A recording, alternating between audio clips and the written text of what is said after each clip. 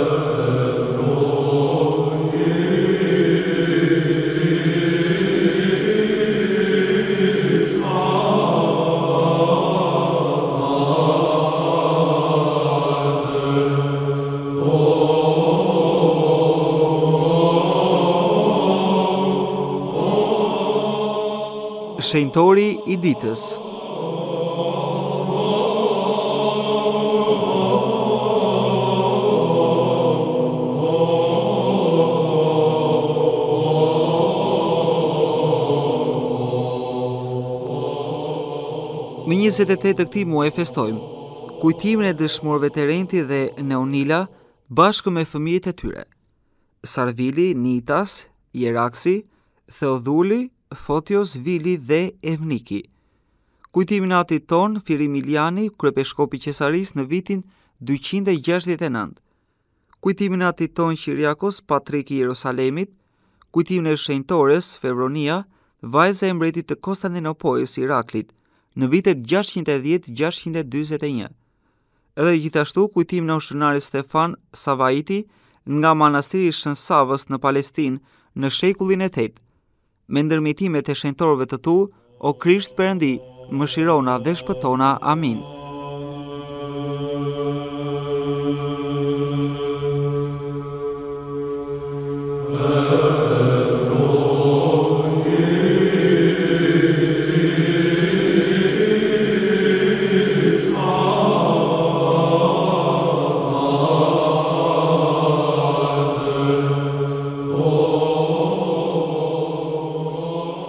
Shën Athanasi Shën Athanasi lindi rreth vitit 1220 pas Krishtit. Origjina e oshënarit ishte nga Adrianopoja, babai i tij Jorgo dhe nëna Efrosini ishin shumë të pasur, por edhe shumë besnikë. Kur lindi Oshënari, prindërit e tij e pagëzuan dhe i vunë emrin Aleks. Që në moshë të vogël Aleksi dukej se do të ndriçonte shumë njerëz me shembullin e tij. Me kujdes dhe vëmendje të madhe, përpiqej të mësonte shkrimin e shenjtë dhe shërbesat e shenjta. Dëshira e tij e vetme ishte të mohonte tërësisht çdo gjë tokësore dhe t'i përkushtohej tërësisht Perëndisë. Nuk vonoi shumë dhe i riu Aleks u largua nga të afërmit e tij dhe shkoi në një manastir të Selanikut, ku ishte murg xhaxhai i tij. Kështu pra Alexi u bë murg dhe mori emrin Akakio. Më pas shkoi në Malin e Shenjtë, është e pamundur të përshkruajë dikush ushtrimet e tij shpirtërore në atë vend. Për virtytet e tij të shumta të gjithë e nderonin dhe e respektonin shumë. Shenjti duke menduar se nga këto lavdime tokësore mund të humbiste lavdinë e përjetshme, u largua nga kjo arsye nga manastiri dhe shkoi në Jerusalem. Për 8 vjet me radhë qëndroi në manastirin e Shën Llazarit. Gjatë kësaj periudhe mori skimën e madhe dhe u quajt Athanas.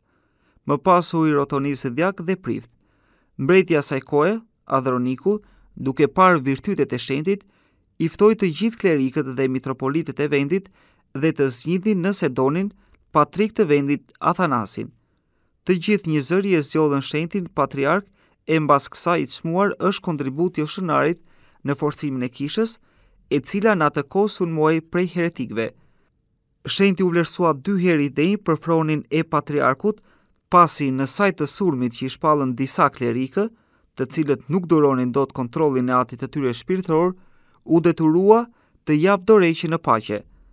Pas dorëheqjes së dytë, shenjti shkoi në shkretëtirë, ku gjithë kohën e kalonte vetëm me kreshme dhe lutje. Për jetën e tij të pastër, Perëndia shpesh e vlerësoi të shohë vegime të perëndishme.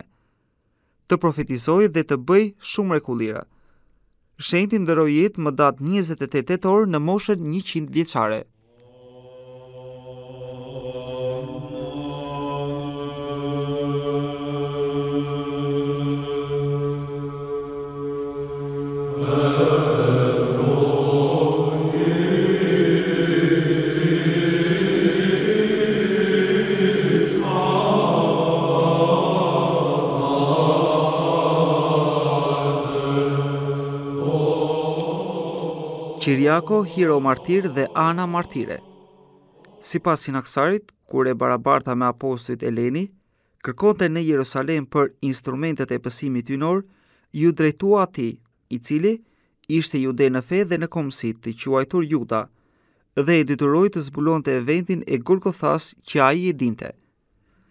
Pasi ishte vështirë dhe nuk pranonte, e hodhi në një pus të tharë një javë pa ushqim dhe ujë. Atëherë, dispononin mjete tepër drastike. Privimi e solli në vete dhe thërriste që ta lironin nga vuajtjet dhe do t'ua tregonte vendin. Kështu u bë, por nuk gjendej kryqi i shumë aspiruar. Por me lutjen e Augustës, u tund dheu kështu që u ndie një aromë e mirë në drejtimin e kryqit të fshehur. Juda besoi dhe si gërmuan atje, në vendin ku borziloku rritej gjithmonë, u shfaqën tre kryqe. E dalluan drurin e çmuar sapo me sugjerimin e tij e vunë mbi një të vdekur që po varrosej, i cili u ngjall. Mrekulli që nuk e kishin arritur kryqet e dy kusarëve. Atëherë besuan shumë ebrenj, dëshmitarë okularë të çudisë. Mbas lutjes, u nxorën edhe gozhdët e kryqit, pasi shkëlqeu vendi ku ishin të futura. Gjetja pra festohet më 6 mars. Meqë donin të gjithë ta puthnin kryqin, por një gjë e tillë ishte e pamundur për shkak të popullsisë së shumtë, kryepiskop Makari pra e lartësoi, ndërsa të gjithë psalnin mëshiro o Zot. Shenjti u pagëzua dhe thuhet se me përkrahjen e nënës mbretëreshë pasoi Makarin. Më 363-shi ndërsa Julian Paravati, pra Shkelsi, po bënte invazion në Persi, kaloi nga toka e shenjtë. Kapi kryepiskopin Qiriako, i cili në vend që të sakrifikonte sipas urdhrit në idhujt, e demaskoi atë. Urdhëroi pra i pabesi dhe i prenë dorën e djathtë, pasi i tha, se kishte shkruar mjaft letra, të cilat kishin kthyer turma nga politeizmi.